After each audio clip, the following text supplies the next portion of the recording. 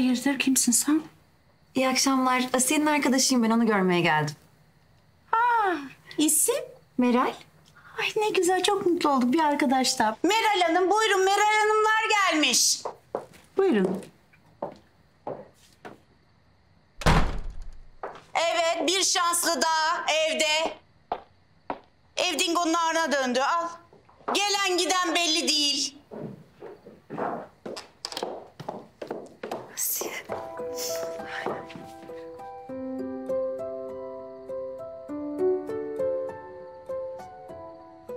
Hoş geldin. Hoş bulduk canım benim, hoş bulduk. Hoş geldiniz kızım. Ee, buyurun geçin. Yok, müsaade ederseniz biz mutfağa geçelim. Tamam kızım.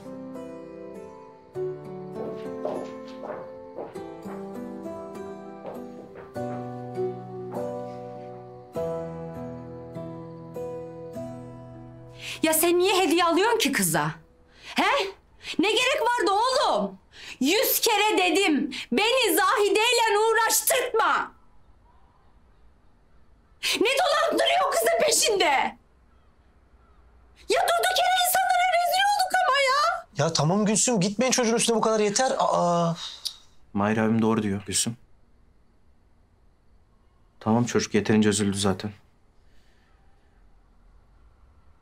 Babacığım, sen bir müddet konaktan uzak dur tamam mı? Söylenip durmasın o Zahide de. O tarafa gitmem bile. E siz de duydunuz işte. Beni kardeşi gibi görüyormuş zaten. Kimi diyor? İlayda'yı diyor anne. E nasıl görecekti oğlum yani sen ne san?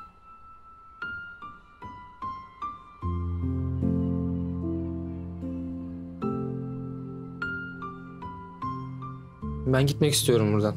O ne demek ya? Nereye gidiyorsun? Alican bir sakin ol amcacığım. Haddini aşan Zahide. Senlik bir şey yok ki. Yok amca ya. Teyzem zaten yanına İzmit'e çağırıp duruyordu beni. Orada hazırlarım sınava. Alican, oğlum. Bak gitmene gerek yok. Yüz yüze olmayız olur biter. Yok baba ya. Gerçekten gitmek istiyorum ben. Sınavıma odaklanacağım. Hem üniversiteyi kazanmaktan başka hiçbir şey düşünmeyeceğim. Merak etmeyin siz beni.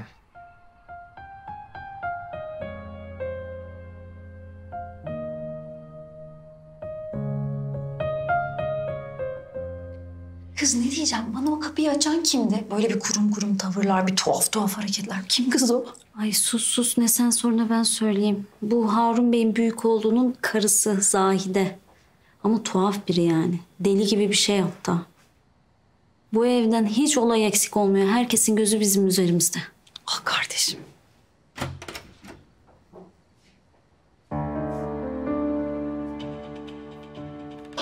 Vay vay vay halamın kızı. Nereden çıktın sen ya? Ben arkadaşımı görmeye geldim Necmi. Senin ne işin var burada ha? Ha pislik, ha nursuz senin ne işin var burada? Meral şimdi biri girecek. Tamam bacım tamam. Onun hatırına susuyorum ben, onun hatırına. Ha şöyle hanımefendi gibi otur. Konak burası kızım, sosyetik bir ortam. Öyle Amasya'da mahallede falan değiliz ya. Necmi, o çeneni kapat. Bak yemin ediyorum burama kadar doluyum, perişan ederim ben seni. Çıkarcı, pislik. Allah Allah. Ya Asiye bir anlatsana şuna bir rahatlasın ya. Ben seni korumuyor mu? Kurtlar sofrası kızım burası. Hey yavrum hey. Benim gibi birinin olması iyi bile onun yanında. Sen gelmeden biz idare ediyorduk Necmi. Zahmet etmeseydin buralara kadar. Yani zor idare ederdim bence de. Hadi neyse. Salak.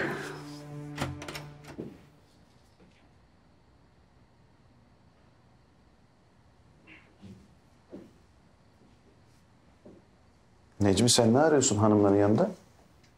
Şey ya hala kızı gelince muhabbete dalmışız ya. Var mıydı bir isteğiniz Raci Bey? Hala kızı mı? E, o zaman siz de Amasya'dansınız herhalde. Biz hep çocukluğumuz Amasya'da geçti hepimizin. Ama tabii sonra birer birer dağıldık başka yerlere. Ne güzel. Ne güzel. Artık böyle dostluklar pek olmuyor değil mi? Birbirinizden kopmamışsınız ne kadar hoş. Mesela benim gençliğimden, çocukluğumdan kimse böyle çıkıp gelmiyor. Ya biz pek severdik birbirimizi Raci Bey. Vallahi böyle evler falan da yakındı. Değil mi? Anneler falan arkadaş zaten. Maşallah. Maşallah. Hmm, Asiye yemeğe oturuyoruz. Meral Hanım eğer siz de katılırsanız babam çok mutlu olacağını söyledi. Tamam biz de geliriz birazdan.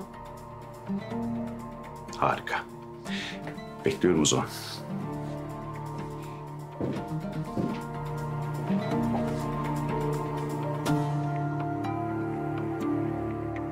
Kız ne kibar adam bu be. Bakma kız adamın arkasından. Evli o evli. Bir şeyim dedim ben. Ben bir şeyim dedim. Ya sana söylediğim Zahide'nin kocası işte bu. Tövbe. Hiçbir şey söylemedim hiç. Sen gülme.